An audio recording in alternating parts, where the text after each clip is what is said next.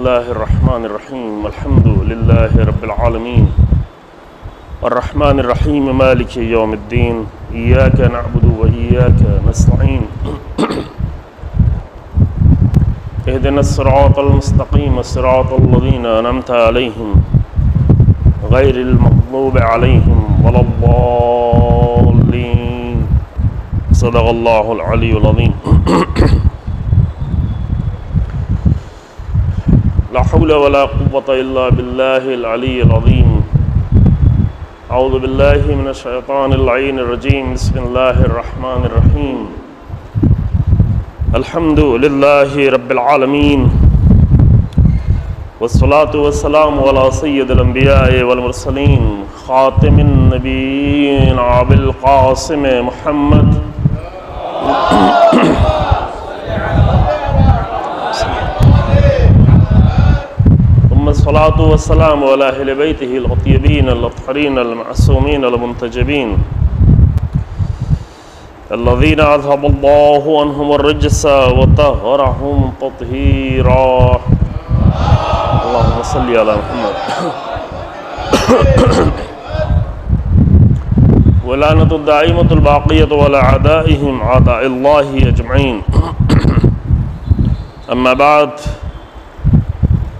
वक़त क़ालत ज़ैनब बिन अली अलैहिस्सलाम वल्लाहि फ़ब्कु कसीरा वल्लक़ु क़लीला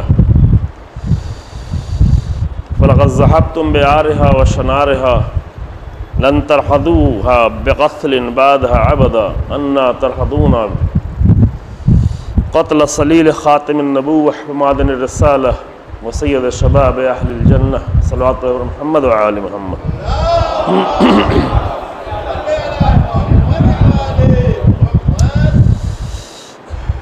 आल मोहम्मद सानी जहरा, हज़रत ज़ैनब कुबरा सलामुल्लाह के ख़ुतबे के इस हिस्से में गुफ्तु हो रही थी और बीबी ने अहल कोफ़ा को मुखातब करके जुमला फरमाया, वो आपके सामने पेश किया जा चुका है। क्रिया करने के लिए जनाब जैनब ने बदुआ दी है अहल कोफ़ा को। और वो इसलिए क्योंकि वो गिरिया कर रहे थे। यहाँ से वाक़ करबला से मुतक़ और ज़ात हुसैन इबन अली सलामुल्लाह से मुतक़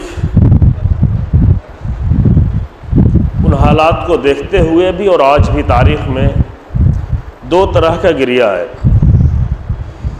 यूँ तो गिरिया और भी बहुत सारे तरह के होते हैं, लेकिन इमाम हुसैन से मुतक़ जो करबला में और करबला के बाद नज़र आया वो दो तरह का गिरिया है। वरना गिरिया ख़ुद एक रोना, एक एक एक मौजू है, एक अहम मौजू है। वो इंसान की जिसको, जिसके दिल में ऐसी कोई तब्दीली ना आए कि उसके पास वो रो सके तो वो ख़ुद एक मुश्किल है उस इंसान को। अभी हमारी वो बहस नहीं है, लेकिन एक मुख्तसर इशारा करके आगे बढ़ता हूँ। या अगर एक इंसान वो हो कि जो रोना चाहता ही ना हो, सिर्फ़ खुशी चाहता हो, सिर्फ़ वो लज्जतें चाहता हो, सिर्फ़ मज़े चाहता हो तो वो एक इंसान नाकिस इंसान है। चूँकि ये कैफियत अल्लाह ने इंसान के दर अंदर रखी है, इंसान के दिल में, इंसान की रूह में, कि कुछ मनाजिर, कुछ हालात, कुछ बातें कुछ तस्वुर इंसान की रूह पर ऐसा असर डाले कि इस कदर मुनकलब हो जाए कि उस रूह के असर के नतीजे में आँखों से आँसू आ जाए। बाज़ लोग इस कदर मुमकिन सख्त दिल हों कि ज़िंदगी में कभी रोए ही ना हो। यानी रूह की इस कैफियत को कभी महसूस ही ना किया हो। तो ये एक ऐब है इंसान के लिए। खुशी भी अल्लाह ने करार दी है इंसान के लिए और रोना भी करार दिया है, गम भी करार दिया है। गम में बहुत सारे आम तौर से हम ये समझते हैं कि नेमतों में और खुशियों में इंसान के बहुत सारे कमालात हैं, लेकिन ज़्यादा कमालात अल्लाह ने इंसान को मुश्किलों में, सख्तियों में, गम में और उसके नतीजे में जो रोना होता है, रोने में रखा हुआ है। एक सलवात पढ़े हज़रत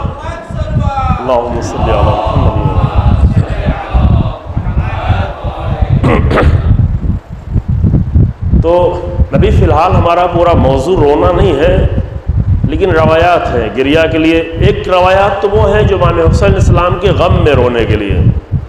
लेकिन इसके अलावा भी रोना इंसान की ज़िंदगी के एक अहम हिस्सा है।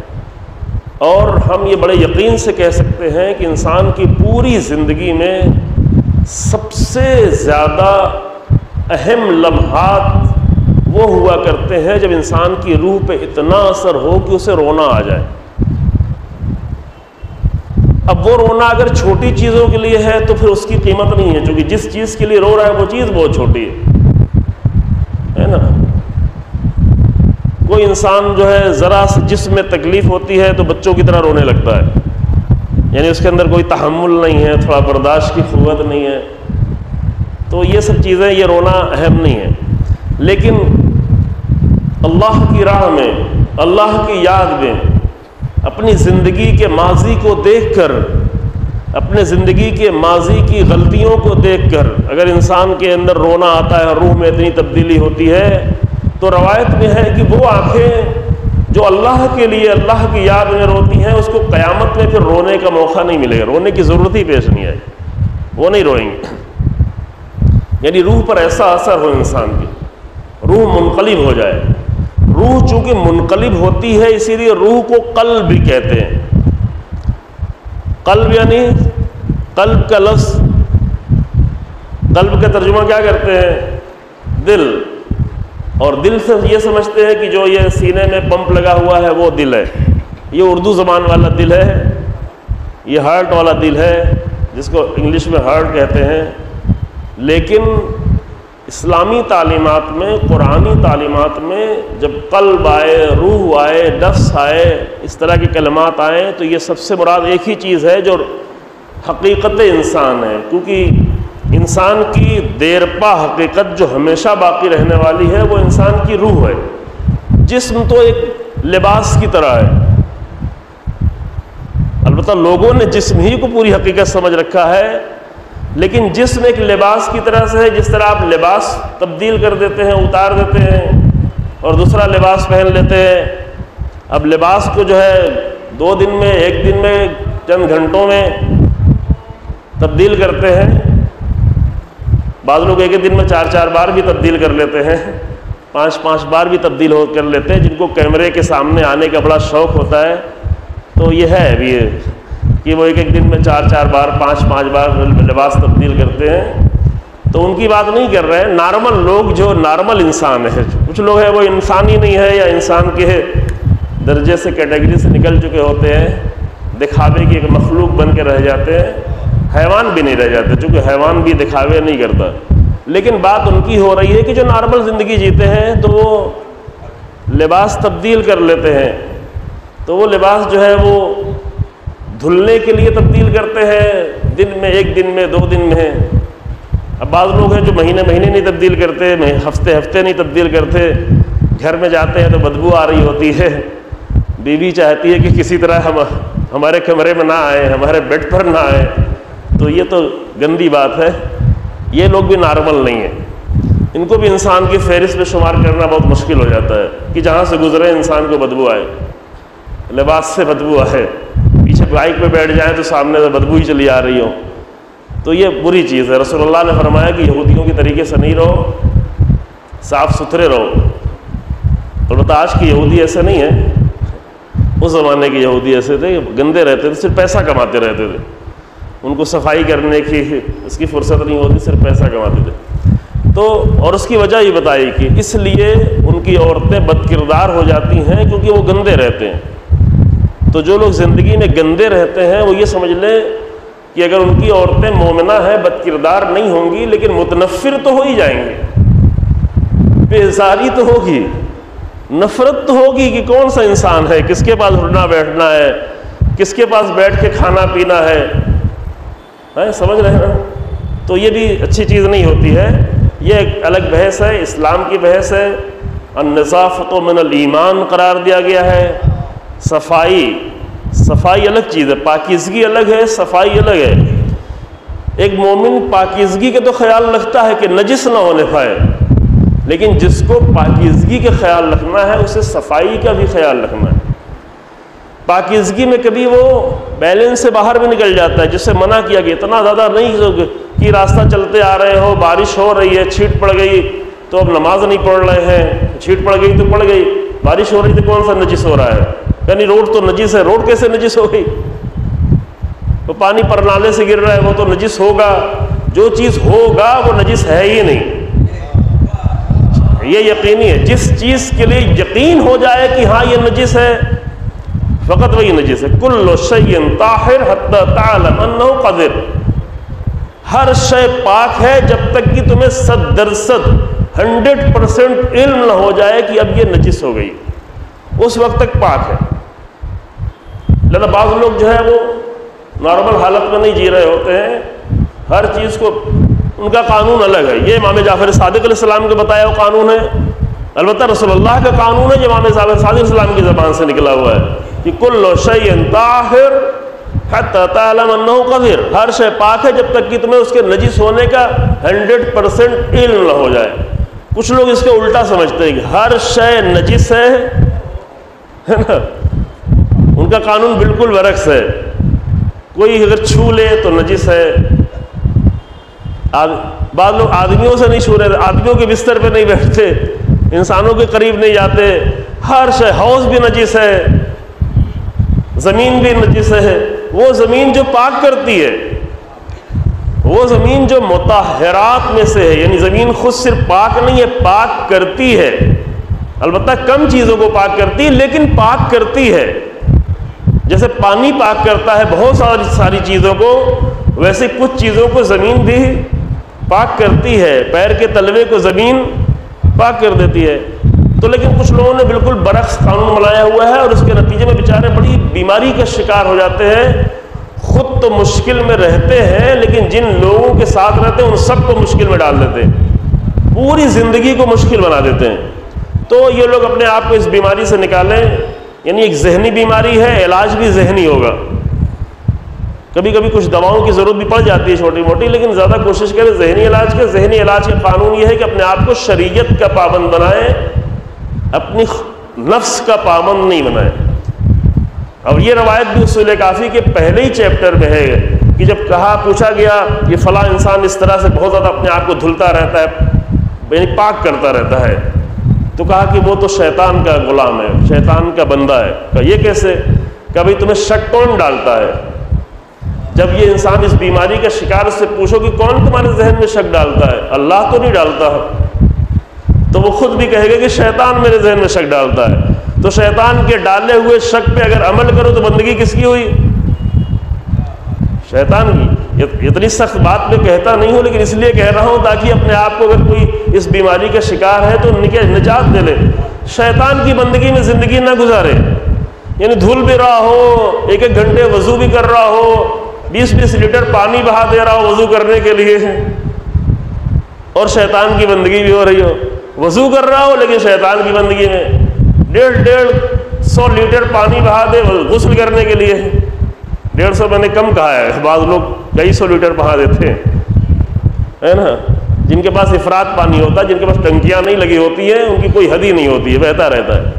तो ये सब बैदगी है शैतान की। रसोल्ला ने फरमाया अलबदू वो बेमुद्दिन वलगुसलो बेसा एक तीन पाव पानी से वज़ू है और तीन किलो पानी से गुसल है। तीन पाव पानी से वज़ू अच्छा वाला वज़ू।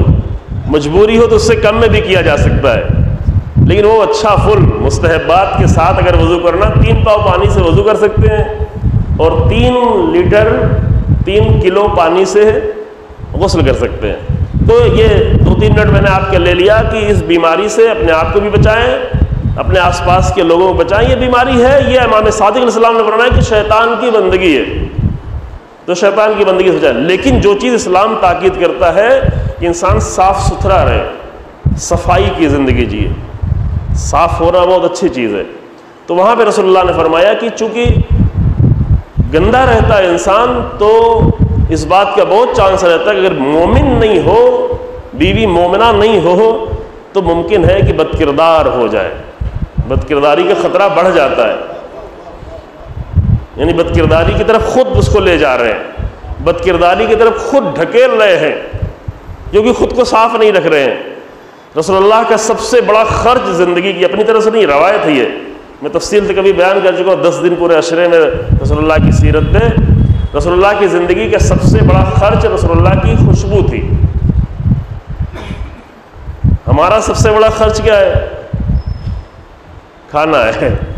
शायद, पता है और कुछ लोगों को खाने से भी ज़्यादा बड़ा खर्च क्या है, पता है? अब आप बताएँगे। देखिए वाह वाह तो आप करते नहीं, मैं करने भी नहीं देता। तो शामिल हो इसमें। यानी सोचने में शामिल हो, सोच के बताए। ना बताए तो अपने अपने जहन में सोच लें कि बहुत सारे इंसानों को सबसे बड़ा खर्च खाना होता है। कोई मुश्किल नहीं है। खाना इंसान की ज़िंदगी का हिस्सा है। लेकिन कुछ लोग बहुत ज़्यादा बीमार होते हैं, उनकी ज़िंदगी का सबसे बड़ा खर्च दिखावा होता है। दिखावे का घर, दिखावे की गाड़ी, दिखावे का कपड़ा, दिखावे का जूता, दिखावे का चश्मा, दिखावे का मोबाइल। कौन से ब्रांड का मोबाइल है? भाई, मोबाइल ठीक ठाक है। अभी छः महीना पहले ख़रीदा था, लेकिन एक नया ब्रांड आ गया है, डेढ़ लाख का मिल रहा है।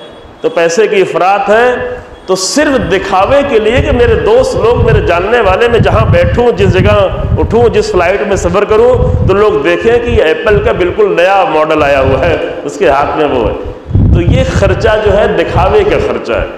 ये ज़रूरत का खर्चा नहीं है। ये बीमारियाँ हैं।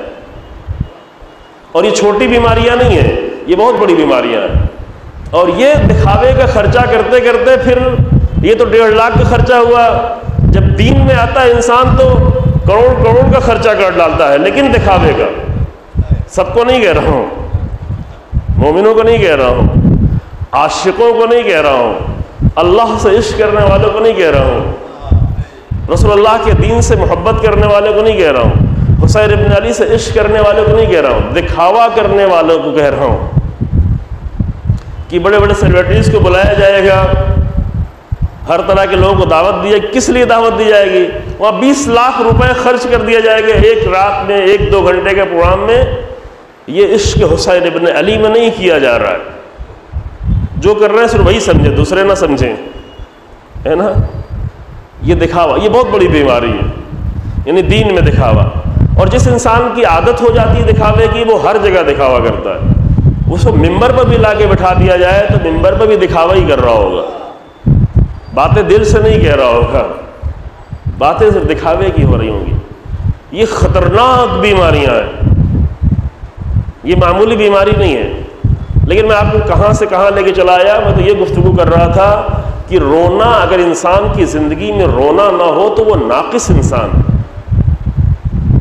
वो पत्थर उसके दिल के अंदर रूह नहीं है, पत्थर है।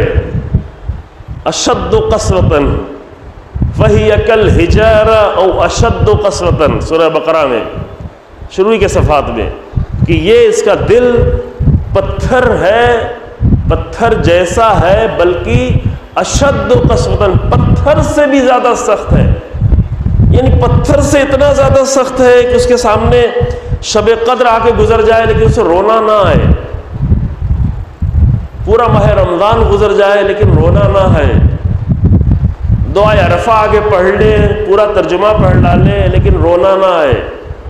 दुआ कुमैल हर हफ़्ते पढ़े, लेकिन आँखों में कभी, आँखें कभी डबडबाएँ भी नहीं। आँखें कभी भीगने भी ना पाए। नहीं, आशूर का दिन आके गुजर जाए, और आशूर के दिन वो सब कुछ कर रहा हो, लेकिन आँखों में रोना ना आए। शब आशूर गुजर जाए शब आशूर में अच्छे से अच्छे मेनू तलाश कर रहा हूँ कहाँ पे क्या बटेगा, कहाँ पे क्या खिलाया जाएगा। लेकिन आँखों में रोना ना आए। अपनी बनाई हुई अजादारी खूब कर ले, लेकिन इमाम सईद सज्जाद की अजादारी का एक झलक भी ना आने पाए। यानी रोना। जो इमाम सैद सज्जाद की चौंतीस साल से ज़्यादा साढ़े चौंतीस साल की अजादारी क्या थी? सन इकसठ हिजरी हम्म, सन इकसठ हिजरी आशूर सन इकसठ हिजरी से लेकर के सफ इमाम की शहादत की तारीख पच्चीस वो भी मुहर्रम ही है ना? तो मुहर्रम मुहर्रम तो चौंसठ साल। सन पंचानवे हिजरी तक इमाम सईद सज्जाद की पैंतीस साल, चौंतीस साल आज़ादारी क्या थी? एक सवाल है ये, बड़ा सवाल है। एक बुनियादी सवाल है। हम अपनी ज़िंदगी को देख ले कि हमारे पचास साल, साठ साल, सत्तर साल की हमारी आज़ादारी क्या रही है? आज़ादारी के नाम पे कितना रोए हैं? बाकी और क्या क्या किया है? और इमाम सैद सज्जाद की पैंतीस, चौंतीस साल आज़ादारी में इमाम ने क्या किया आज़ादारी फ़र्क इंसान महसूस कर ले। यानी अगर सवाल कर सके खुद से, क्योंकि आम तौर से हमारी एक बड़ी मुश्किल क्या है? ये बहुत बड़ी मुश्किल है, आप लोग सब गौर से सुने।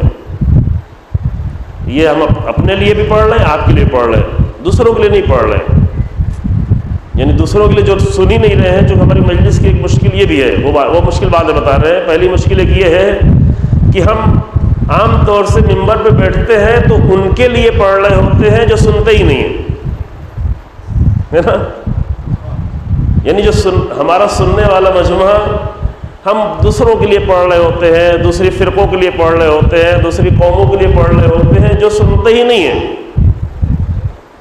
और जो लोग सुन रहे हैं, उनके काम की कोई चीज़ नहीं पढ़ रहे होते तो एक बड़ी मुश्किल तो ये मेंबर की हमारी है। लेकिन हमारी मुश्किल क्या है? हमारी मुश्किल ये एक सवाल करना है, बड़ा सवाल है कि हम जो है आज़ादारी जो कर रहे हैं अज़ा जो आज इस पर थोड़ा सा गुफ्तु हो जाए।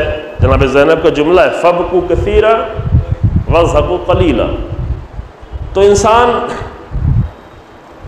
अजादारी के जितने भी घंटे अपने शुमार कर ले, जितना भी अमल है वो सब शुमार कर ले, उन तमाम अमल में वो रोया कितनी देर है?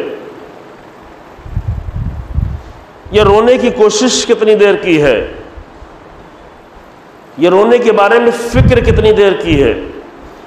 असल, अभी देखें नौहा के माने क्या है? नौहा यानी बैन अभी तो नौहे में भी नहीं रोते। यानी ऐसा नौहा ही नहीं पढ़ा जाता कि रोएँ। खुदा करे कि पढ़ा जाए। यानी नौहे में रोना ही नहीं है। नौहे में सबसे जो ज़्यादा जिसकी तरफ़ तवज्जो होती है वो ये कि कितनी ज़ोर से मातम कर लिया। है ना? मातम के लिए रोना भी कुर्बान कर दे। देखिए, मातम भी आपके सामने अर्ज़ करेंगे, मातम अहम मसला है। लेकिन मातम रोने के लिए है। क्यों? इसलिए कि गिरिए की कैफियत जब बहुत ज़्यादा बढ़ जाती है, तब मातम होता है। समझ रहे हैं? मातम नॉर्मल गम में नहीं होता। मामूली गम में मातम नहीं होता। है ही नहीं। यानी आप अपने बाप के लिए मातम करने लगे, जायज़ भी नहीं। जो इतना बड़ा गम नहीं है कि उसके लिए हम मातम करें। आपका बिज़नेस में बड़ा लॉस हो गया, आप सर पीटने लगे हैं। नहीं, बिल्कुल नहीं करो, जायज़ नहीं है। क्योंकि बिज़नेस का लॉस पैसे की कमी इतना बड़ा गम नहीं है। ठीक है, तकलीफ़ पहुँची है, लेकिन इतना बड़ा गम नहीं कि उसके लिए मातम करो। जवान बेटा मर जाए तो रो लो, लेकिन मातम ना करो। सीना नहीं बैठो, सर नहीं बैठो, जायज़ नहीं है। अगर दिल भी चाह रहा है तो अपने आप को संभालो कंट्रोल करो। लेकिन ये इजाज़त कहाँ पर है? हुसैन इबन अली के गम में इजाज़त, क्योंकि वो गम बहुत बड़ा है। इमाम हुसैन का गम इतना ज़्यादा बड़ा है कि इंसान गम की कैफियत में इतना आगे बढ़ जाए, इतना गम की कैफियत तारी हो जाए कि वो मातम करने लगे। तो मातम दर हकीकत गम की कैफियत का इंतहाई बढ़ जाने का नाम है। मातम इसीलिए है। अब इस मातम से हम सब महरूम हो चुके हैं। किसने महरूम किया है वो आप खुद ढूंढे, मैं मैं यहाँ पे बताऊँगा शायद। कुछ लोगों को तकलीफ़ भी होने लगेगी, ऐसी बहुत सारी तकलीफ़ हो जाती है। तो मकसद भी नहीं सारी बातें मैं बताऊँ, कुछ चीज़ें आप भी ढूंढें कि किसने हकीकी मातम छीन लिया। छीन लिया। एक ज़माने तक मातम इसलिए सिर्फ़ किया जाता रहा कि नोहे की आहंग में कोई फ़र्क ना आए। आहंग आहंग समझ रहे हैं? मैं वो नामनासिब लफ्ज़ नहीं इस्तेमाल कर रहा हूँ, वरना आहंग के लिए जो नामनासिब लफ्ज़, यानी और दूसरे आम दुनिया में इस्तेमाल किया था, वो है म्यूज़िक, वो है मौसीकी, कि उसकी मौसीकियत में ख़राबी ना आए, लिहाजा मातंग जो है आहंग के साथ करते रहो। फिर अभी गुज्त आठ दस सालों से क्या हुआ कि मातम ही हटा दिया गया, सिर्फ़ आहंग ही रह गया। आपको शायद नहीं मालूम हो ये अक्सर जो सीडीज, पहले सीडी होती थी, अभी तो लोहे आते हैं यूट्यूब पे। अक्सर जो बड़े बड़े प्रोफेशनल लोहा खानों के लोहे हैं, उसमें ज़र्रा बराबर मातम होता ही नहीं। अब वो पढ़ने वाला भले कर दे मातम, लेकिन जो आवाज़ सुनाई पड़ रही थी, बड़े ज़ोर से मातम की, वो बिल्कुल मातम नहीं होता। वो इंस्ट्रूमेंट्स होते हैं। वो सारे इंस्ट्रूमेंट से वो इंस्ट्रूमेंट का मातम होता है, वो इंसान का मातम नहीं होता। इंसान का मातम वो होगा कि जहाँ दिल पर इतना गम का असर हो जाए कि उसके हाथ में अख्तियार मातम के लिए उठ जाए। ठीक है? अब उससे महरूम हो गए। और वो गम की कैफियत क्यों नहीं तारी होती? इसलिए कि हमने गम की दिल को सख्त कर दिया है। दिल को कैसे सख्त किया है? दिल को सख्त कराया गया है। अब वो किसने कराया वो भी आप खुद ही ढूंढें। दिल को कैसे सख्त किया है? दिल को इस तरह सख्त किया है कि मजलिस तमाम हुई दस्तरखान लगा दिया गया और उधर अंजुमन जो है, मसायबी नोहा पड़ रही है और बहुत सारे लोग बैठ के खाना खा रहे हैं। जब मसायबी नोहा पढ़ते पढ़ते खाना खा रहे हैं तो यानी गम में दिल सख्त हो गया। तो पहले तो ये शुरू किया गया, फिर धीरे धीरे आदत होते होते फिर लोगों ने क्या किया कि मुहर्रम है अब टेलीविज़न पे और कुछ चीज़ तो नहीं देख सकते। जो जो देखता है वो खुद ही सोच ले, मैं नहीं बताऊँगा क्या नहीं देख सकते। तो कुछ नहीं दे सकते तो एक लोहा लगा लो। और क्या है, बड़े अच्छा लजीज खाना खा रहे हैं, बात भी कर रहे हैं, हँसी मज़ाक भी कर रहे हैं, और उधर एक मसायबी नोहा भी चल रहा है। मसायब का नोहा। तो ये नोहा इंसान को रुला नहीं रहा है, बल्कि उसके दिल को सख्त कर रहा है। कि ये भी मुमकिन हो सकता है कि एक मसायबी नोहा हो, लोग बातें कर रहे हों, लोग मज़ाक भी कर रहे हों, लोग खाना भी खा रहे हों। फिर इतने से भी दिल नहीं भरा तो क्या आप ड्राइविंग कर रहे हैं, आठ घंटे क्या सुने, गाना तो नहीं सुन सकते, जो कि मुहर्रम है तो चलो नोहा सुनते हैं। अब चार लोग बैठे हैं, वो बातें भी कर रहे हैं, वो मज़ाक भी कर रहे हैं, वो हंस भी रहे हैं, और उधर लोहा भी चल रहा है। उससे इन सबसे इंसान का दिल सख्त होता चला गया। इतना सख्त होता चला गया कि जब हकीकी मसायब इमाम हुसैन के बयान किए जाते तो इंसान को रोना ही नहीं आता। फिर हमारे पास जाकिरीन को बड़ी मेहनत करनी पड़ती कितनी झूठी चीज़ें गढ़ें, सख्त चीज़ें लाएँ, ऐसी सख्त दिल चीज़ें लेके आए कि ये सख्त पत्थर वाले दिल पे भी कुछ असर हो जाए। तो वो मसायब का असर नहीं होता, वो उसके अपने इमेजिनेशन का हुनर होता है और चीख पुकार का हुनर होता है कि सख्त दिल इंसान को रुला तो नहीं पाता, लेकिन चीखने पे मजबूर कर देता है। थोड़ा चीख ले कि क़यामत में जाके फ़रिश्तों से कहे कि मैं फ़लाँ मजलिस में चीखा तो था। लेकिन असल मसला हल करें अजीज़ों, यहाँ किसी पर तंज करना मकसद नहीं है। इन सारी चीज़ों से जो चीज़ महसूस होती है वो ये कि हम हुसैन इबन अली के गम से दूर हुए जा रहे हैं। दूर हुए जा रहे हैं। दिल सख्त होता जा रहा है। गम नहीं होता।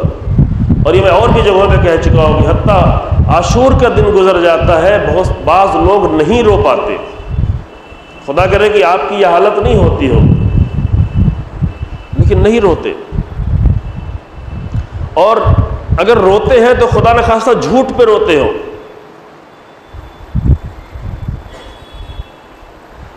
जबकि आशूर का दिन ऐसा होता है, फ़र्क तो हो जाता है दिनों में ना। आशूर का दिन ऐसा होता है कि नाम हुसैन इबन अली काफ़ी होता है, दिल इंसान का भर जाता है।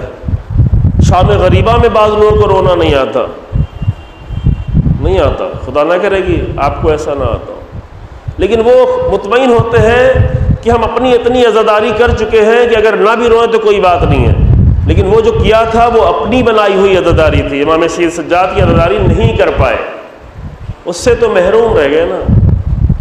जो असल आज़ादारी है, जो रूह है आज़ादारी है, क्योंकि रोना रूह है आज़ादारी है, गिरिया करना रूह है आज़ादारी है। तो दो तरह का गिरिया हो गया। यानी करबला में भी दो तरह का गिरिया था, कोफा और शाम में भी दो तरह का गिरिया था।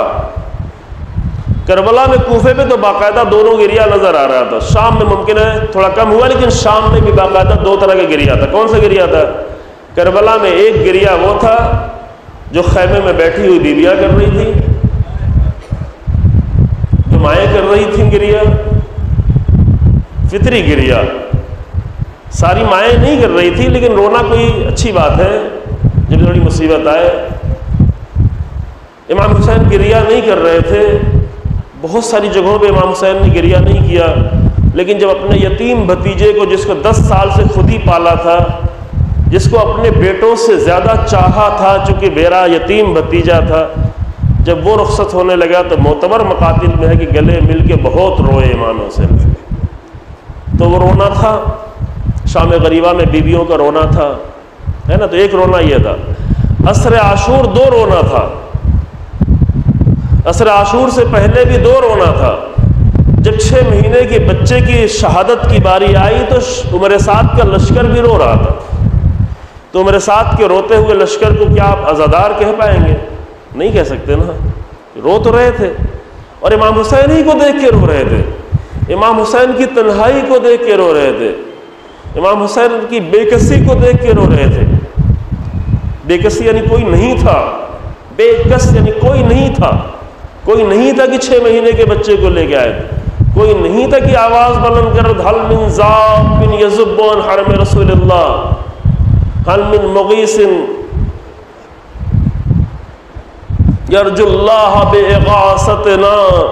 ये इमाम के जुमले हैं जो मोतबर मकातिल में। इन सबको खुलासा कर दिया जाता है, हल में नासरी अंसरना। ये जुमला खुद मकतल में नहीं है, लेकिन बहरहाल मतलब वही हुआ, कोई फ़र्क नहीं पड़ता। ये इमाम की तन्हाई थी जिस पे इमाम रो रहे थे, कौन है जो आए? तो इमाम भी रो रहे थे।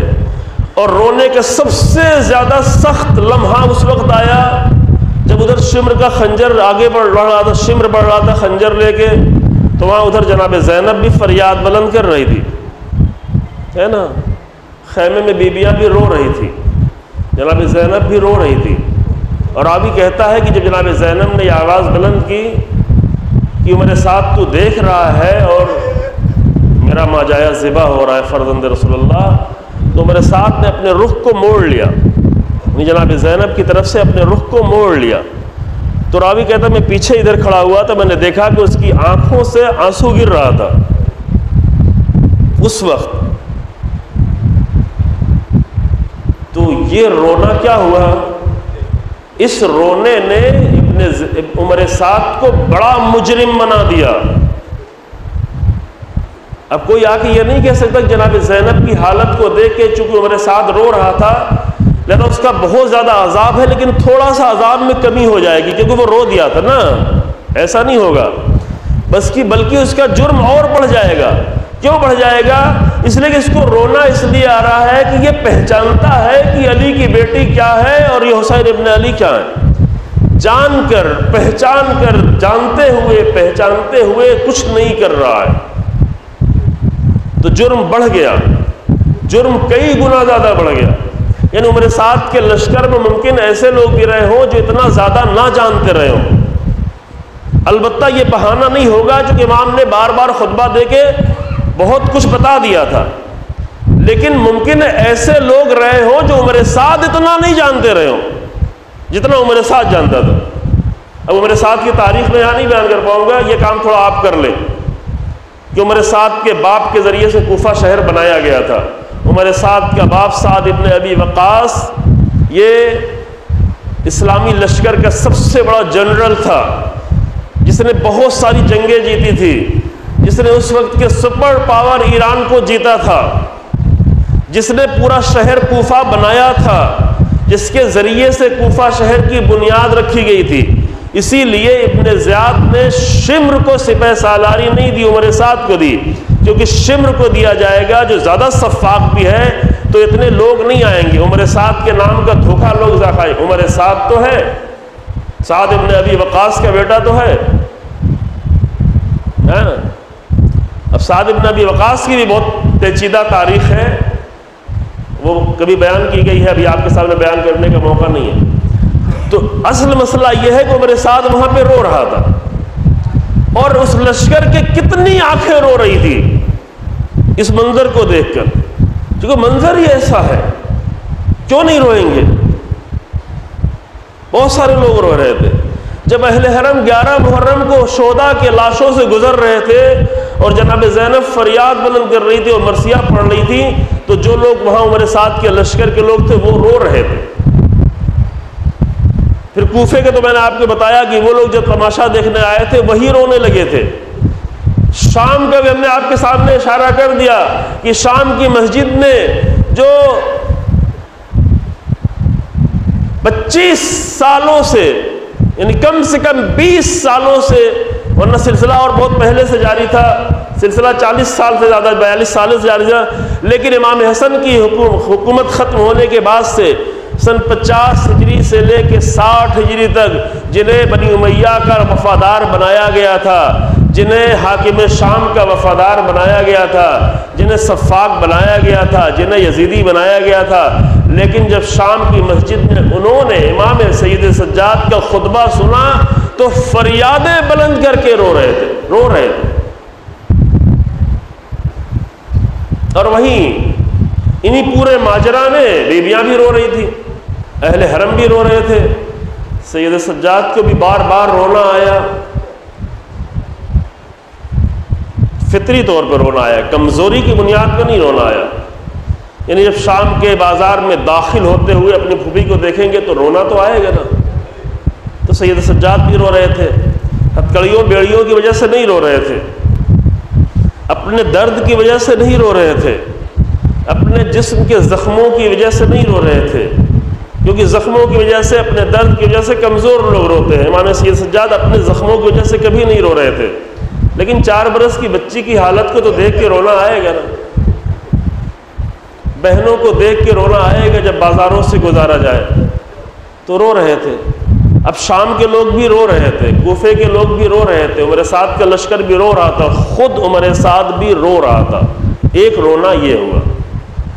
और एक रोना कौन है? जनाब जैनब का रोना है सैद सज्जाद का रोना है, हुसैन अब अली का रोना है। तो दो तरह का रोना हुआ। अब दो तरह के रोने में फ़र्क करना पड़ेगा, है ना? जनाब जैनब ने जो गिरिया किया, वो फ़र्क थोड़ा सा पहले बता चुका हूँ दोहराना नहीं चाहता हूँ। जनाब जैनब ने जो गिरिया किया असर आशूर से लेकर करबला वापस आने तक, करबला से फिर मदीने जाने तक, फिर मदीने में जाके रसोल्ला के रोज़े पे गिरिया किया बीवी ने। फिर डेढ़ साल तक जनाब जैनब ज़िंदा रही तो डेढ़ साल तक जनाब जैनब रोती ही रही। पानी आता था तो रोती थी। खाना नज़रों के सामने आता था तो रोती थी। जवान, बनी हाशिम के किसी जवान को देखती थी तो रोती थी। हुसैन इबन अली की किसी भी निशानी को घर में देखती थी तो बीबी रोती थी। जनाब जैनब तो डेढ़ साल तक रोई, इमाम सईद सज्जाद चौंतीस साल तक रोते रहे। रोए ना इमाम सईद सज्जाद, चौंतीस साल तक रोए। वो दूसरा रोना था, दो रोना हो गया। हमें यह तय करना है कि इन दो रोने में हमारा रोना कौन सा रोना है? यह अहम है। फ़र्क आपके सामने बता दिया गया है कल या परसों, कि उमर साद के लश्कर का रोना वो है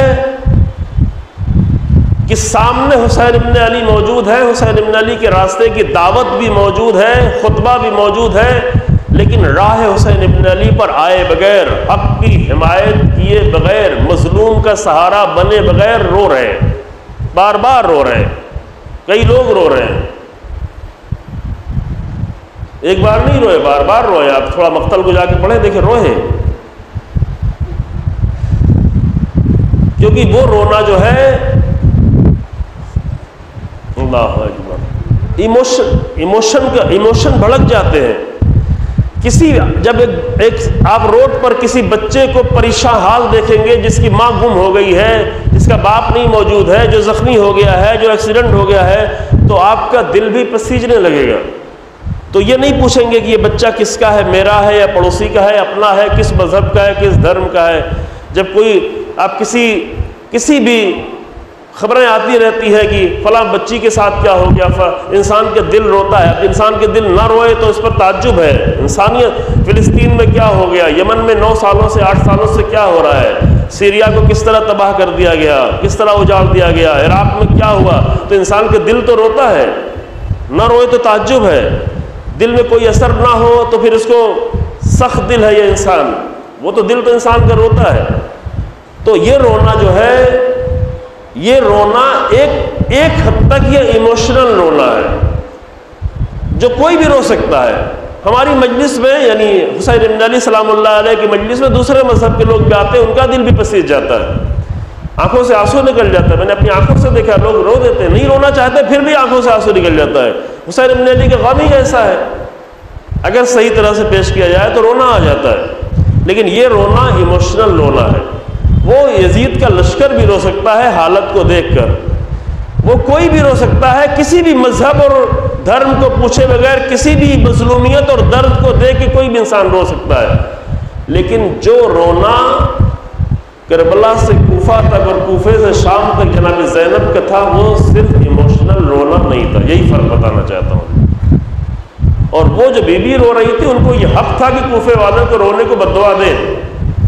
इमाम सईद सज्जाद जो 35 साल तक रोए हैं, वो रोना सिर्फ़ याद का रोना नहीं था, वरना अगर सिर्फ़ याद के लिए रोते तो घर में बैठ के रोते, तन्हाई में रोते। जैसे हमारे यहाँ बाद मजलिसों में लाइट बंद कर दी जाती है, अंधेरा करके रोते, अकेले कमरे में रोते, जवान भी थे, चौ तेईस चौबीस साल का जवान, लेकिन तेईस चौबीस साल का जवान बाज़ार में आके रोता था। क्यों बाज़ार में रोते थे?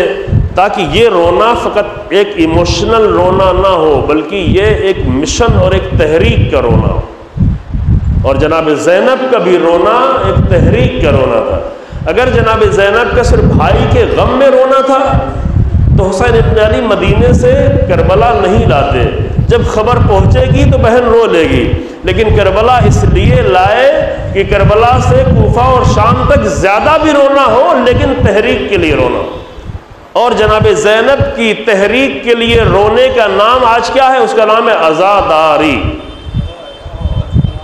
ये समझे अभी जनाब जैनब का रोना क्या है? जनाब जैनब अगर मदीने में रोती अच्छा आपको ये कहे कि मदीने में मुमकिन है सबके लिए साबित है। मक्के में तो बिल्कुल यकीनी हो गया था, खंजर लेके आए थे इमाम को कत्ल करने के लिए। इमाम कह के भी निकल रहे हैं कि जिनको जान देनी है वही मेरे साथ चले। मन क्या नफ़ीन आबाद मोहजत माना। वही चले जो अपनी जान देने के लिए तैयार है। तो जो जान देने के लिए तैयार है, उसे इमाम लेके जाए, फिर बहन को लेके क्यों जा रहे हैं? जनाब जैनब को जाके मैदान में जंग तो नहीं लड़नी है, वहाँ जान तो नहीं देना है। जनाब जैनब को मैदान जंग में जाके जंग नहीं लड़नी है, बीवियों को जंग नहीं करनी है, लेकिन जितनी भी करबला में जंग की गई है, उसको एक अजीम तहरीक में तब्दील करना है। इसलिए लेकर आए। और वो तहरीक कौन सी होगी? वो वही तहरीक है जिसके लिए हुसैन अली ने इतनी बड़ी कुर्बानी दे दी। तवज्जो करें यहाँ से यानी शुरू से लेके यहाँ तक। वो तहरीक क्या है जनाब जैनब की? जनाब ज़ैनब की तहरीक, जिसका नाम आज़ादारी है, और अल्हम्दुलिल्लाह ये तहरीक कभी ना रुकी है, न रुक सकती है। जितना भी रोकने की कोशिश की गई, वो कभी नहीं रुकी, ना रुकेगी, न कमज़ोर पड़ेगी।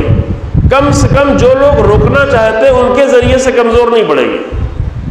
हाँ अपनों के ज़रिए से कमज़ोर पड़ सकती है। ये इसकी तरफ़ तवज्जो रहे अजीज़ों। आज़ादारी को दुश्मनों ने अगर रोकना चाहा तो वो आज़ादारी न रुकी, न कम हुई, न कमज़ोर पड़ी, बल्कि और कभी हुई, और मज़बूत हुई, और आगे बढ़ी। है ना? पूरी तारीख इसकी गवाह है।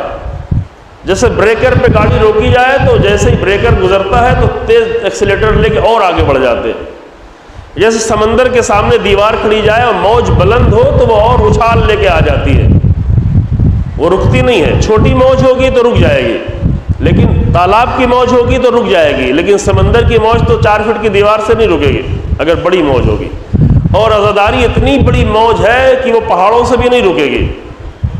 वो हिमालय से भी नहीं रुकेगी कि जो उसे हिमालय के पीछे रोक दिया जाए। नहीं, वो और आगे बढ़ के आएगी। तो ये मौज बढ़ती रही, ये मौज आगे बढ़ती रही। जितना रोका गया हुकूमतों ने रोका, बनी अब्बास ने रोका, बनी उमैया ने रोका, मिसमार कर दिया गया, करबला को मिसमार कर दिया गया, करबला में हल चला दिए गए कब्रों के निशान मिटाने की कोशिश की गई, लेकिन नहीं रुकी। अजादारी नहीं रुकी। न कमज़ोर पड़ी। लेकिन कमज़ोर किससे पड़ती है? कमज़ोर उन अजादारों से पड़ती है, जो अजादारी की मिशन को भूल कर सिर्फ़ इमोशनल रोने को अपना मकसद बना लें। तो इमोशनल रोना तो और भी रो रहे थे लोग। मिशन को भुला भुलाकर आज़ादारी जनाब जैनब की कुर्बानी का मिशन सवाब नहीं था। ये खुद तय करें। हुसैन इब्न अली ने पूरी अपनी तहरीक में कभी नहीं कहा कि मैं इसलिए जा रहा हूँ जान देने ताकि तुमको सवाब मिले। हुसैन इब्न अली ने यह कहा कि मैं इसलिए जा रहा हूँ कि ताकि रसोल्ला का दीन बच जाए, हकीकी दीन मिल जाए। और रसोल्ला का दीन यानी क्या? यानी तमाम अम्बिया का दीन, कुरान का दीन उलुलज़म नबियों का दीन, लाखों कुर्बानियों का हज़ारों कुर्बानियों का दीन, वो सब बच जाए। तो आज़ादारी का मिशन फिर क्या होगा? ये जल्दी से बिल्कुल तय कर लें। कि आज़ादारी के लिए जब जनाब जैनब को लाया गया है तो आज़ादारी का मिशन जनाब जैनब की आज़ादारी का मिशन वही होगा जो हुसैन इबन अली की कुर्बानी का मिशन और हुसैन इबन अली की कुर्बानी का मिशन भी मिशन जन्नत नहीं था, जनाब जैनब की आज़ादारी का मिशन भी जन्नत नहीं है। ये जुमला थोड़ा सख्त है, लेकिन मैं कह देता हूँ कि हमको वो आज़ादारी नहीं चाहिए है। हम उस आज़ादारी को नहीं चाहते कि जिसके लिए हमें वो सवाब नहीं चाहिए आज़ादारी का कि जिसके लिए रसोल्ला की बेटियों को बाज़ार तक लाना पड़े।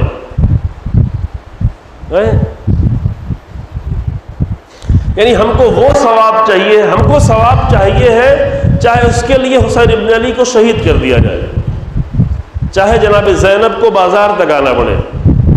चाहे हुसैन इबन अली की बेटियों और बहनों को बाज़ार तक आना पड़े तो बाज़ार तक इसलिए नहीं लाया गया कि सवाब दिया जाए। सवाब देने के लिए अल्लाह के पास बहुत सारे बहाने हैं, अपने बंदों को सवाब देने के लिए। तो इतना बड़ा काम क्यों हो रहा है? ये थोड़ा सोचने वाला मसला, आप लोग इस पर और गौर करिएगा कि जिन्होंने बहुत ज़्यादा आगे बढ़ के क्या रखा है? सवाब। सवाब से मना नहीं कर रहा हूँ मैं। लेकिन सवाब मिशन नहीं है। सवाब नतीजे के तौर पर रवायतों में बयान किया गया है। कोई हरज भी नहीं है। लेकिन जनाब जैनब का मिशन सवाब नहीं था। जनाब जैनब का मिशन था हुसैनियत को क़यामत तक के लिए एक ऐसी तहरीक में तब्दील कर देना कि जब भी हक के लिए सर उठाया जाए तो हुसैनी लोग तो वहाँ कम से कम मौजूद। कोई आए या ना आए, लेकिन हुसैनी मौजूद। और ये रहा है, जो वाकई हुसैनी रहे हैं, वो हर मजलूम के साथी बन के रहे हैं, हर हक की तहरीक में शरीक रहे हैं। इस्लाम की तहरीकें हुकूमतों से नहीं बची हैं, इस्लाम की तहरीकें बड़े बड़े मेजॉरिटीज़ से नहीं बची है, इस्लाम की तहरीकें उन चंद लोगों से बची हैं, जो हर हक की तहरीक में बढ़ते रहे, चाहे उनकी जान चली जाए, चाहे वो जिंदानों में डाले जाए, चाहे उनको शहीद कहा जाए, चाहे शहीद अव्वल हो, चाहे शहीद सानी हो चाहे उलमा हो, चाहे अवाम हो, चाहे जवान हो, इस्लाम की तहरीकें हमसे आपसे नहीं बची हैं। उन लोगों से बची हैं कि जिन्होंने हक के लिए कोई परवाह किए बगैर कदम आगे बढ़ा दिया। जिन्होंने अपनी मसलहतों को नहीं देखा है, सिर्फ़ हक की मसलहतों को देखा। हम हक का साथ वहाँ तक दे हम देना चाहते हैं जहाँ तक हमारी कोई मसलहत को नुकसान न पहुँचे, ना हमारी जाकिरी को नुकसान पहुँचे ना हमारे इकतसादी मसाइल को नुकसान पहुँचे, ना हमारे किसी और काम को नुकसान पहुँचे। नुकसान कोई नहीं पहुँचे। फिर हम ज़्यारत भी करेंगे, फिर हम करबला भी जाएँगे, फिर हम अरबईन भी जाएँगे। लेकिन हमारी कोई मसलहत ख़तरे में ना पड़े। लेकिन अगर अपनी मसलहत मुश्किल में आ जाए तो सब कुछ कुर्बान कर दिया जाता है। और हुसैन इब्न अली इसके बिल्कुल बरक्स है कि अपनी सारी मसलहतों को कुर्बान कर दे लेकिन हक को नुकसान ना होने पाए। तो हुसैन अली का मिशन। आज़ादारी भी उसी मिशन के लिए। तो अब आज़ादारी ये ये तय करना पड़ेगा, अजीज़ों, हम अगरचे असल आज़ादारी से बहुत दूर हो चुके हैं, लेकिन मायूस नहीं है। तोज्जो करें। हमारी कौम को हकीकी आज़ादारी से बहुत दूर कर दिया गया है, बहुत दूर। और ये आप इसे खुद तय कर सकते हैं। कि हमारी कौम के अक्सर लोग शब आशूर में क्या ढूंढ रहे होते हैं, क्या कर रहे होते हैं? कितनी देर तक रोते हैं? कितनी देर तक उनको गम की कैफियत होती है? मुझे कुछ चीज़ें बताई गई, मैं यहाँ कह नहीं सकता, कहने के नहीं है कि आशूर के दिन लोग क्या कर रहे होते हैं। आशूर के दिन कुछ लोगों को सिर्फ़ सवाब की फ़िक्र है कि जिस वक्त हुसैन इब्न अली भूखे प्यासे हैं, उसी वक्त खाना बांटो हर तरफ़ से इतना खाना बांटो और कुछ लोग हैं जो खाना इकट्ठा न करने की फ़िक्र में होते हैं। तो हुसैन इब्न अली की आज़ादारी कहाँ गई इस बीच में? गम का, जो खाना खा रहे हैं, जो खाना इकट्ठा कर रहे हैं, जो सवाब के चक्कर में पड़े हुए हैं, वो आज़ादार कहाँ बनेंगे?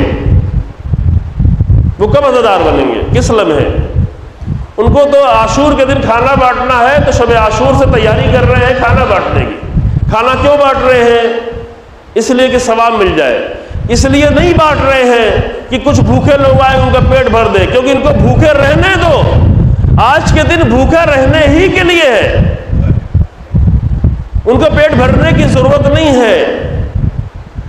अगर उनको रोजा नहीं है, क्योंकि रोजा नहीं रखना है तो जेब से एक चना निकाल के खा लेंगे। वो उनका रोज़ा नहीं रह जाएगा, फाका हो जाएगा। उनको पेट भरने की ज़रूरत नहीं है, न बर्तन तो छोड़े। अब ये बात मैं ना कहूँ ताकि ये बात दूर तक ना पहुँचे। जो हर जगह ये नहीं है। तो उन्हें नहीं खिलाओ। खिलाना है तो मुहर्रम से पहले जाके घर, घरों में गरीब लोगों को दे दो, उनको ज़रूरत है। बहुत अच्छी बात हुसैन इबन अली के नाम पे दे दो। गरीबों को ले जाके हुसैन इबन अली के नाम पे दे दो, लेकिन आशूर के दिन ये काम ना करो। क्यों? इसलिए अगर आशूर के दिन इस काम में लग जाओगे तो फिर कैफियत आज़ादारी बाकी नहीं रहेगी। फिर उसमें अगर किसी को कैफियत आज़ादारी अपने ऊपर पैदा करना है तो पूरे मजमे से अपने आप को निकालना पड़ता है कि कहीं हट के जाए, कोई नौहा सुने, कोई मरसिया सुने, कुछ कोई मसायब सुने, ताकि वो अजादार बने। असल मजमे से उसे निकलना पड़ता है। तन्हाई का गोशा तलाश करना करता है। तो ये आज़ादारी सैद सज्जाद की आज़ादारी नहीं हुई।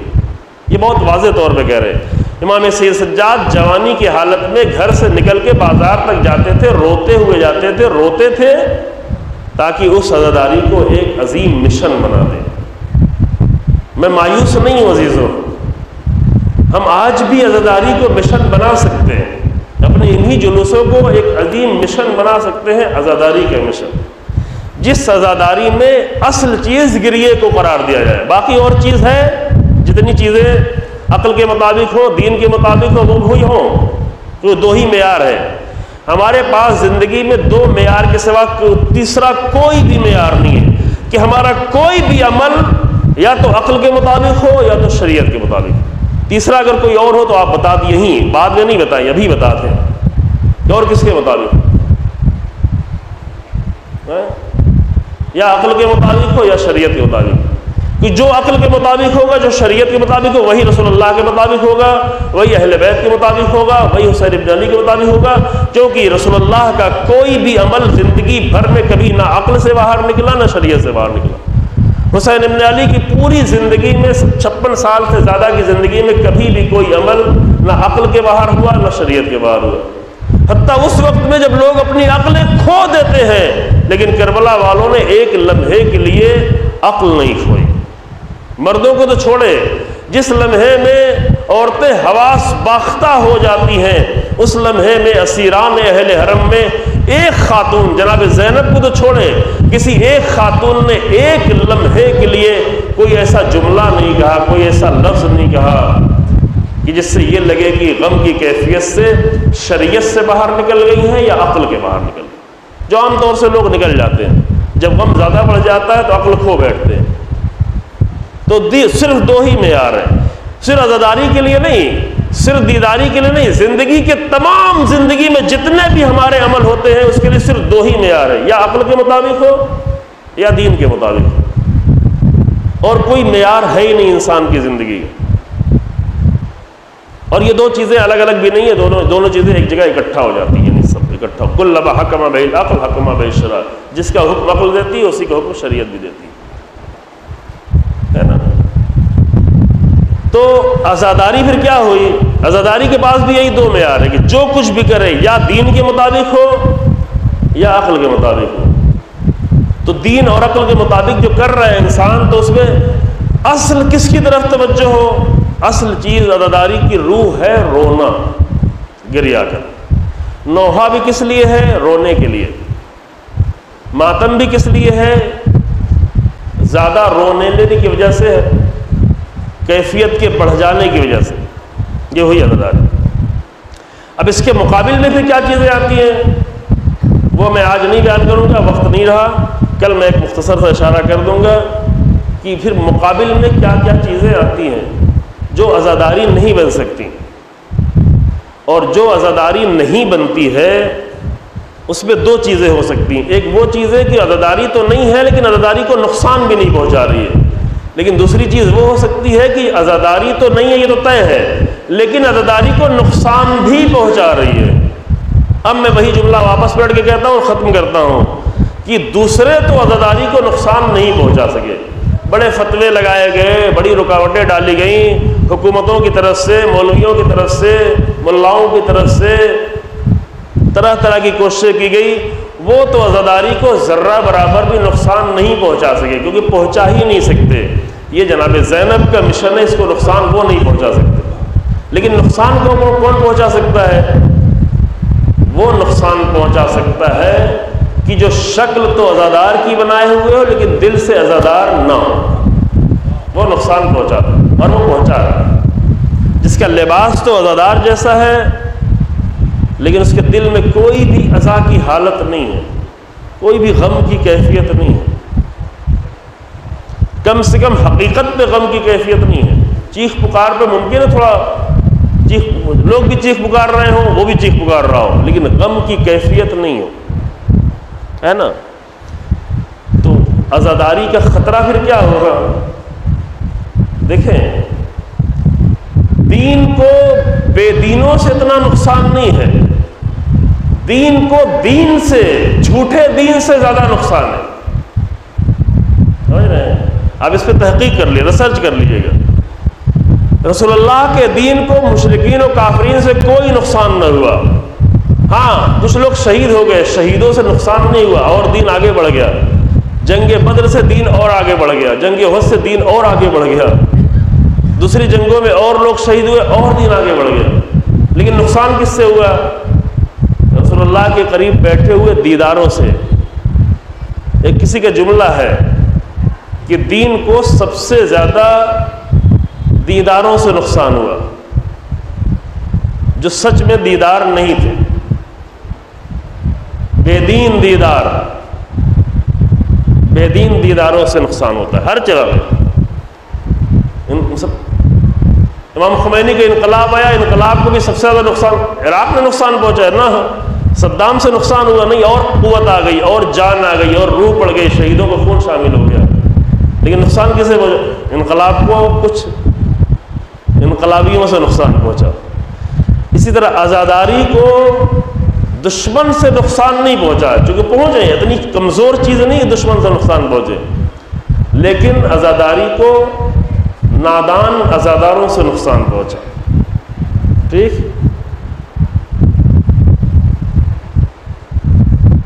और ये पूरा, आप पूरी पूरी पूरी बहस पे गौर कर सकते हैं। करबला में जो अमल था, करबला की जो अजमत है वो ये है कि करबला में दुश्मन तो नुकसान पहुंचाना चाह रहा था और कोई भी नुकसान नहीं पहुँचा। न इमाम हुसैन के मिशन को नुकसान पहुँचा, ना इमाम हुसैन की तहरीक को नुकसान पहुँचा। वो समझे कि हमने नुकसान पहुँचा दिया क्योंकि इमाम हुसैन के सारे भाइयों को शहीद कर दिया, सात भाइयों, बेटों को शहीद कर दिया। तो इससे नुकसान पहुँचा नहीं क्योंकि कभी शहादत कभी नुकसान बन ही नहीं सकती। शहादत हमेशा फ़ायदा बनती है। करबला की अजमत यह है कि करबला में अंदर से कोई नुकसान पहुँचाने वाला नहीं था। यह है करबला का मुआजा इसीलिए हुसैन इबन अली ने शब आशूर कहा कि मुझे ऐसे असहाब मिले जो किसी को भी नहीं मिले क्योंकि वहाँ कोई भी नुकसान पहुँचाने वाला नहीं था। जनाब जैनब के साथ जो बीबियाँ चली उस पर कोई भी नुकसान पहुँचाने वाली बीबी नहीं क्योंकि किसी ने भी एक जुमला नहीं कहा कि हमें तो नहीं मालूम था कि हमको यहाँ आना पड़ेगा, वरना हम आते ही नहीं। ये नहीं कहा किसी यानी कोई एक भी शर्मिंदा नहीं हुई अपने किसी भी अमल पर। तो कोई भी नुकसान नहीं पहुँचा। तो जनाब जैनब के उस तहरीक बनाने में अंदर से कोई नुकसान पहुँचाने वाला नहीं था। लेकिन जनाब जैनब की ज़्यादा बड़ी मुसीबत यह है कि अभी उस मिशन को आगे बढ़ाने में अंदर से नुकसान पहुँचाने वाले लोग मौजूद हैं। वो नुकसान कैसे पहुँचता है, वो इन कल आपके सामने अर्ज़ किया जाए बस मैंने तमाम किया अजीज़ों हुसैन इबन अली बहुत शब आशूर में खुश थे। इमाम के जुमले जाके पढ़े, खुश लफ्ज़ पे मुमकिन आपको थोड़ा अजीब लग रहा हो। शब आशूर से लेके असर आशूर तक इमाम की ज़बान पे कई बार ये जुमला आया कि मैं तो राज़ी हूँ। राज़ी के मतलब समझ रहे हैं? रज़न बक़ा ही व तस्लीमन अमरे का मतलब समझ रहे हैं। इसका दो तर्जुमा किया जाता है। जब कहते हैं, अल्लाह की रज़ा के लिए अमल करो तो उसका दूसरा उर्दू में तर्जुमा, यानी अल्लाह की खुशनुदी के लिए। रज़ा का मतलब ही क्या होता है? यानी जिसमें इंसान खुश हो। आप खुश हैं तो हम गम क्यों मना रहे हैं? गम तो इसलिए मना रहे हैं कि रसोल्लाह के नवासे को इतना तनहा छोड़ दिया गया। रसोल्लाह का नवासा फरियाद बुलंद कर रहा था और कोई नहीं आया। रसोल्ला की नवासी फरियाद बुलंद कर रही थी, कोई मदद करने नहीं आया। ये गम की बात। हुसैन इबन अली क्या है? शब आशूर में कह रहे हैं कि ऐसे असहाब तो किसी को नहीं मिले जो मुझे मिले। यानी क्या? यानी हुसैन इबन अली अपने असहाब से बिल्कुल मुतमिन हैं, बिल्कुल राज़ी हैं, बिल्कुल खुश हैं कि मेरे असहाब इनकी तरफ़ से कोई भी कमी नहीं आने वाली है। कोई भी नुकसान नहीं होने वाला। कोई भी एतराज़ तो दूर की बात है ख़यानत तो माजल्ला सवाल ही नहीं है। हती इन, इन असाब में किसी ने एक बार सवाल भी नहीं किया कि बोला आप ये क्यों कर रहे हैं? मक्के तक लोग सवाल करते रहे मदीने में सवाल करते रहे। मक्के में बहुत बड़े बड़े लोगों ने सवाल कर दिया लेकिन करबला में किसी ने सवाल नहीं किया। जिस पर हुसैन राज़ी थे उस पर अबल फजल अब्बास राज़ी थे, उस पर बनी हाशिम राज़ी थे, उस पर असहाब राज़ी थे, उस पर अंसार राज़ी थे। मुतमिन थे। इतना मुतमिन थे कि शब आशूर में मज़ाक कर रहे थे। अब ये मुतबर मख्तल के जुमले। इतना ज़्यादा मुतमिन थे कि जब शब आशूर में एक खेमा था, जहाँ पर जाकर लोग अपने आप को, अपने लिबास तब्दील कर रहे थे। क्यों लिबास तब्दील कर रहे थे? इसलिए कर रहे थे कि अब कल तो मख्तल सजाया जाएगा, कल तो हाजिर होना है। कल हुसैन इबन अली के साथ कुर्बानी देना है, कल अल्लाह की राह में कुर्बानियाँ देना है, कल बारगाह परवरदगार में जाना है तो अपने आप को आमादा कर रहे थे। वो ये खेमे के अंदर था, दूसरा खेमे के बाहर था कि जब वो निकले तो मैं भी जाऊँ, मैं भी अपने आप को आमादा करूँ। है ना? तो बाहर से कहा कि क्या तुम कर रहे हो? तैयारी कर रहे हो? अब ज़ाहरी उस जुमले का मतलब ये है कि क्या होरों से मिलने की तैयारी कर रहे हो? तो वो अंदर जो थे वो किसी और सोच में थे। बाहर जो थे वो किसी और सोच में थे। तो उन्होंने कहा कि ये मज़ाक का वक्त नहीं है। तो बाहर से फिर अंदर आवाज़ गई कि मेरी कौम गवाह है कि मैं ज़िंदगी में न जवानी में अहले मज़ाक था, ना बुढ़ापे में। मैं कभी मज़ाक करने वालों में से था ही नहीं। लेकिन आज की सबसे बेहतर क्या होगा कि अब तो हम बस हमारे दरमियान में और हश्र के दरमियान में बस एक तलवार का फासला है, बस। तलवार लगे और पहुँचे हैं। अब क्या है? इतना यकीन है, इतना मुतमिन है तो इससे बेहतर वक्त क्या है? यानी सिर्फ़ हुसैन इबन अली मुतमिन नहीं है, असहाब भी मुतमिन बिल्कुल मुतमिन अपने मकसद पर मुतमिन पूरी तरह से मुतमिन लेकिन फिर रोना किस लिए अज़ीज़ जो क़यामत तक रोते रहेंगे और जितना भी रोया जाए कब है?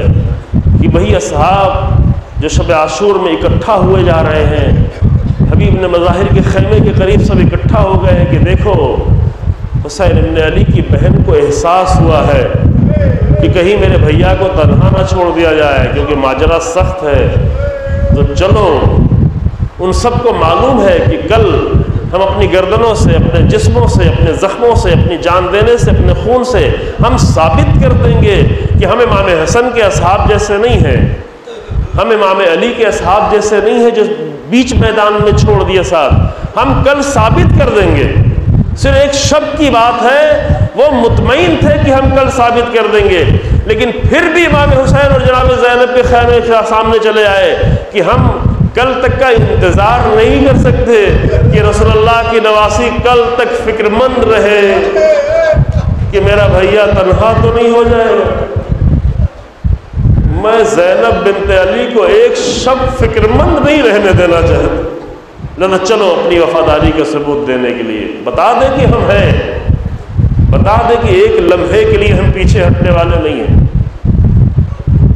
तो वो जो शब आशूर में बहुत ही आमादा थे बड़े सुकून से कोई सजदे में नज़र आ रहा था, कोई रुकू में, किसी के हाथ बुलंद थे, कोई दुआएँ कर रहा था, कोई बड़े ही आराम से कुरान की तलावत कर रहा था, कोई बहुत मुतमिन हो के इस बात पर बहुत मुतमिन था कि अगर हम करबला ना आते तो नहीं मालूम हमारी ज़िंदगी का ख़ात्मा कैसे होता। अब तो हुसैन इबन अली के पास आ गए हैं तो कितना अच्छा खात्मा होने जा रहा है हमारा। कितना अच्छा अंजाम होने जा रहा है। इसलिए सब बिल्कुल मुतमिन हैं, बिल्कुल राज़ी हैं, बिल्कुल खुश हैं अपने हर फैसले पर, अपने हर अमल पर। लेकिन गम उनके लिए गम क्या है? कि हुसैन इबन अली के लश्कर कम क्यों है? जहरा का लाल तनहा क्यों है? हबीब ने मज़ाहिर को सात मुहर्रम से लेकर शब आशूर तक ये फ़िक्र मारे डाल रही है कि हुसैन इबन अली इतने तनहा क्यों है? ये तन्हाई हुसैन इबन अली की तड़पा रही है। तो शब आशूर में तो तनहा नहीं थे, सिर्फ़ तन्हाई का ख्याल था। उस वक्त हुसैन तनहा नहीं थे। सुबह आशूर, हुसैन तनहा नहीं थे। सिर्फ़ तन्हाई का एहसास था कि मेरा भैया कहीं तनहा ना हो जाए। लेकिन असर आशूर तो हुसैन तनहा हो गए थे। और यही क़यामत थी। करबला की सबसे बड़ी क़यामत में से एक क़यामत यह थी कि हुसैन तनहा हो गए। अबल फजल अब्बास के लिए ये गम नहीं था कि मेरा एक हाथ कट गया, फिर दोनों हाथ कट गया, मेरे दोनों हाथ कट गए। उस अबुल फजल अब्बास का गम ये था कि मेरे हाथ कट गए, मेरा आका तनहा है। ये चीज़ रुला रही थी। और मैं आपको बताऊँ अजीज़ो यही मसायब भी यही तमाम कर देता हूँ। कि वो चंद लम्हे आखिरी इजाज़त से लेकर छः महीने के बच्चे की शहादत से लेकर, हुसैन इबन अली की शहादत का जो लम्हा गुज़रा है, वो लम्हा हुसैन इबन अली की तन्हाई का लम्हा था।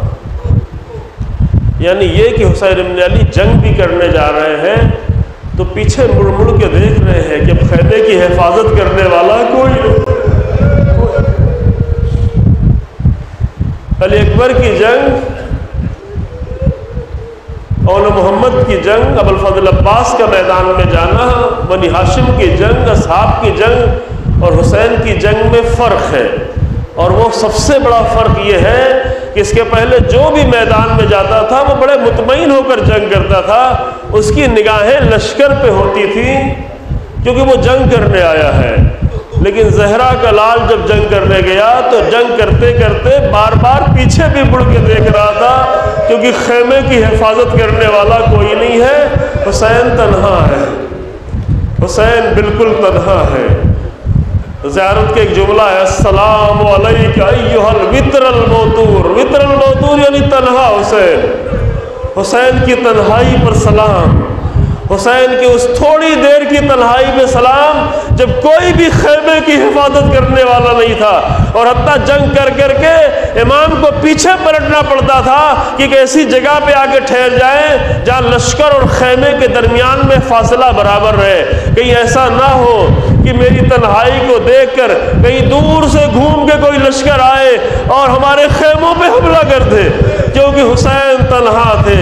और आखिर में वही हुआ कि जब हुसैन इब्न अली जंग करते करते थोड़ा आगे बढ़ गए, क्योंकि लश्कर पीछे हट गया था तो लोगों ने यह समझा कि हुसैन नहर अलकमा के करीब पहुँच गए हैं। तो एक लश्कर खैमे की तरफ़ बढ़ने लगा और वहीं से शिब्र ने यह आवाज़ दी, अरे हुसैन, तुम तो दरिया की तरफ़ जा रहे हो, लश्कर खैमे की तरफ़ जा रहा है। तो उसी लम्हे में इमाम ने यह तारीखी जुमला कहा, या शीयता आल अबी सुफियान ए आले अबी सुफियान के शियो ए आले अबी सुफियान के पैरोकारों, इन लम यकुल्लकुम दीन अगर तुम्हारे पास दीन नहीं है, वो कुन तुम ला तखाफून अलमाद और अगर तुम जहन्नम से भी नहीं डरते तो फ़कून हरारन फ़ी दुनिया कुम कम से कम आज़ाद इंसान बन के तो रहो इस दुनिया में, क्योंकि आज़ाद इंसान किसी मर्द के होते हुए औरतों पे हमला नहीं करते।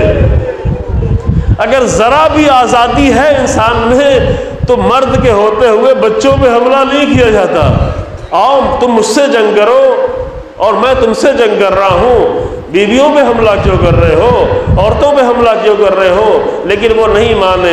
तो फिर इमाम ने आखिरी जुमला कहा फ़रजसाबिकुम इनकुन तुम अरबा।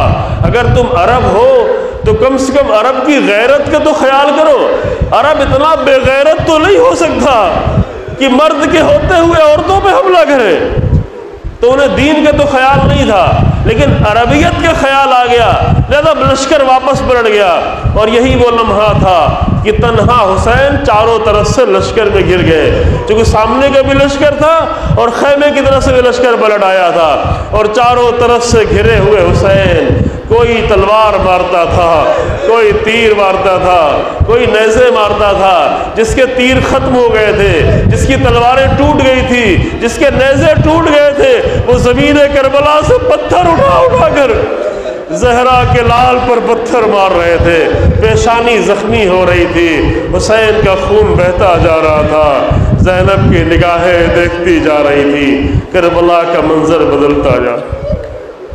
इन्ना व इन्ना इलैहि राजिऊन। सयालमुल्लज़ीन ज़लमू अय्युनक़लबिन यनक़लिबून रब्बना तक़ब्बल मिन्ना इन्नका अंतस समीउल अलीम। बिहक़्क़ि मुहम्मदिन व इत्रतिहि त्ताहिरीन मातम हुसैन।